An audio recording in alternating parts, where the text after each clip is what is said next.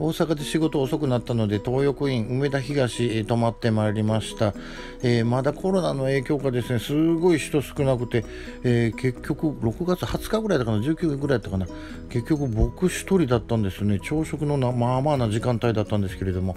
えでで用意された、え朝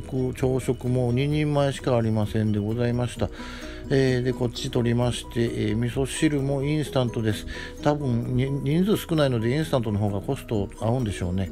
えー、でやってまいりました。これでもこれでもやっぱありがたいですよね。やっぱあの出せていただけるというのは、えー、味噌汁を混ぜましてまずは昆布のおにぎりいただいたんですけれども。いやありがたいですね、美味しいです。なんかこ、もうなんかね、一人、えー、調理場におばちゃんおられたんですけど、心に染みますよね。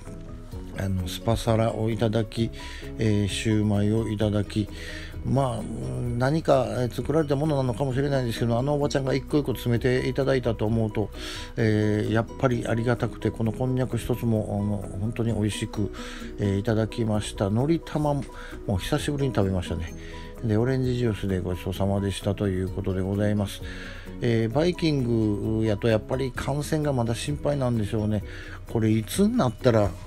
いつになったら本当にあのバイキングに戻るんでしょうかと思うんですけどもやっぱまだ1年2年かかるんでしょうかね、